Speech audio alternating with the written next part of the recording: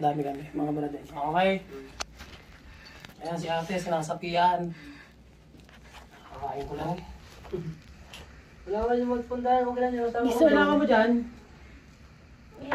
Ano kailangan mo?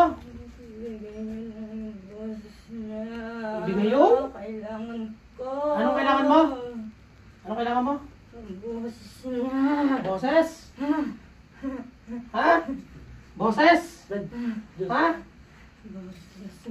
Kailangan mo ng boses niya. Ano ka ba? Sa.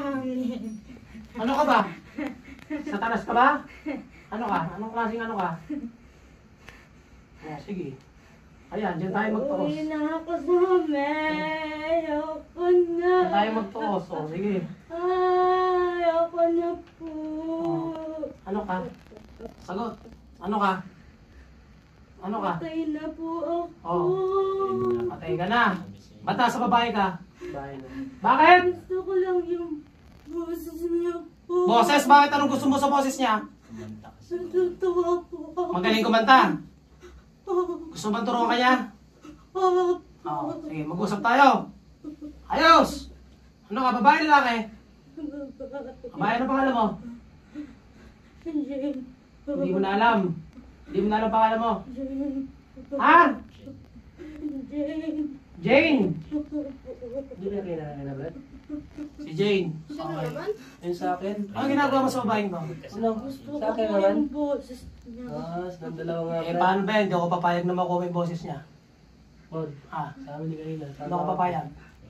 Bakit po kaibigan na lang? Hindi, umalis ka.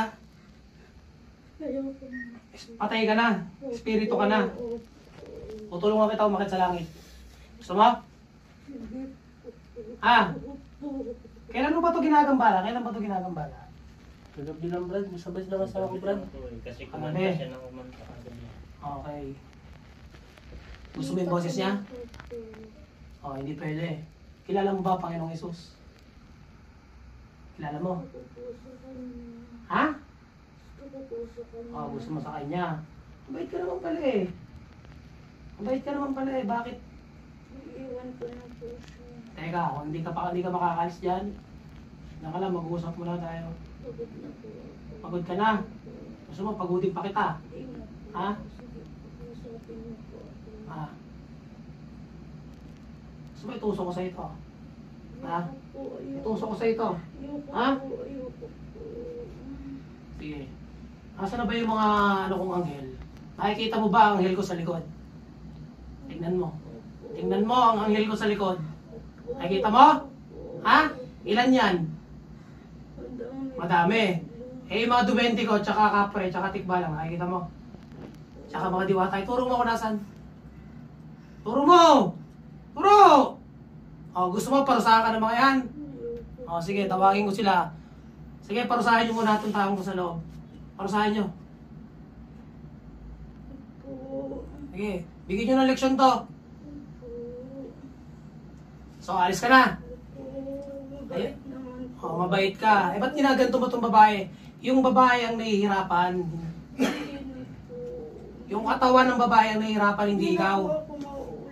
Ha? Pangako po. O, alis ka na. Pag ito bumalik sa akin, papatayin kita ha. Opo. Tandaan mo ha. Ha? Opo. Tandaan mo, papatayin kita ha. Ha? Sige, sundan mo ako, ama. Patawad po sa aking mga nagawang kasalanan. Kung meron akong nagawa sa babaeng ito, nagawa sa babaeng ito, ay patawarin niyo po ako. Linisin niyo po ang katawan ko at tanggapin po sa langit. Sa ngalan ng Panginoong Isus. Panginoon. Amen? Amen? Amen. Oh, may bumabang anghel? May bumabang anghel ba? May bumabang anghel? Ilan ang bumaba? Dami Oh, sige. Sama ka na sa kanila. Taas ka na. Sige. Salamat Oh, sige, akit ka na. Walang anuman. Sama ka na sa taas. Okay.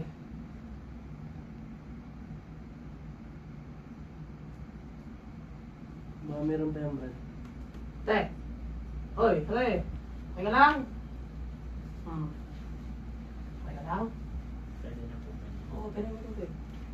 Wala tulog. Hmm. Yung kanina ginawa ko doon sa assist natin kanina, di ba dalawa yon?